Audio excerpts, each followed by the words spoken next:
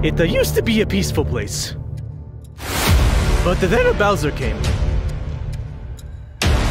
And he uh, kidnapped uh, Peach and Luigi. But Mario, I'm still here! Oh, is uh, Peach with you? No! Oh. Bowser actually only kidnapped the Peach, but I'm still sad. You're gonna need a team if you want to beat Bowser.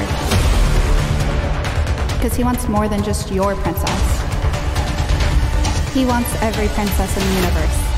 Then he's going to have to face the Guardians of the Mario Galaxy. Come and get your piece. Together, we're gonna save a Peach.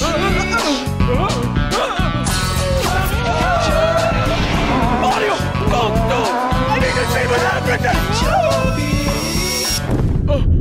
Uh, Mario, I think we might have the wrong princess. Luigi, I think you're right there.